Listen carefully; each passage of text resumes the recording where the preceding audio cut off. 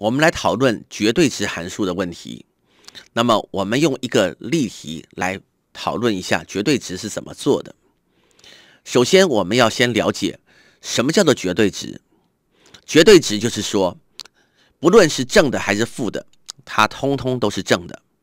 那么，我们要注意的一件事情就是说，绝对值 x 的话呢，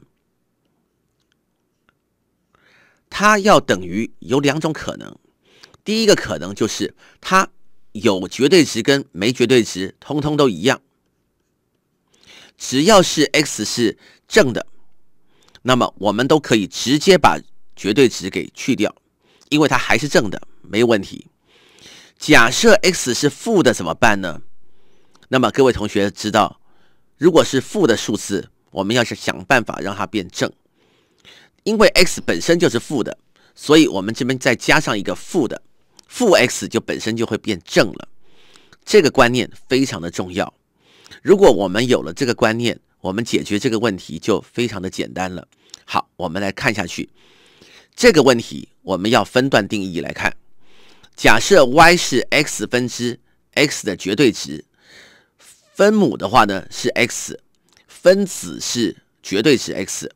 那么我们分成了两部分来看。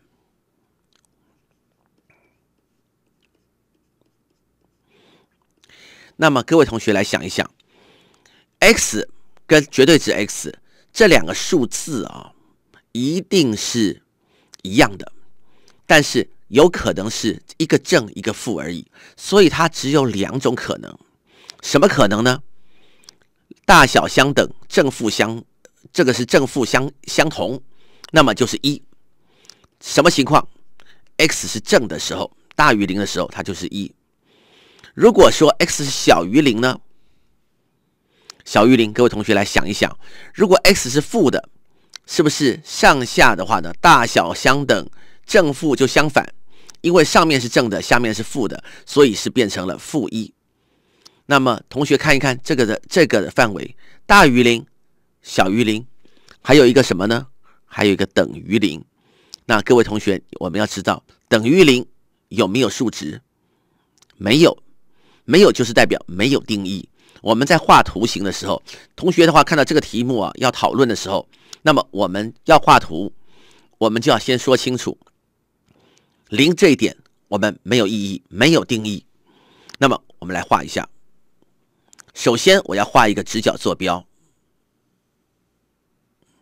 好，我们看下去，当 x 是正的时候，它的值是多少？y 的值是一。一的话呢，假设这里是一的话，这边高度在这边。那么如果说是 x 是负的，小于零，就是在左边啊，这 y 轴的左边，那么它是负一，这边是负一。那么零这一点呢，很抱歉，这一点的话，我们要用的是一个空心点。我们必须要说，当 x 等于零的时候是没有意义的啊，是无意义，或者是说没有定义。那么它的图形是两条水平线，中间是不连续的。那么我们以这个绝对值的函数的图形来解释了一个很重要的一个观念，就是绝对值的观念。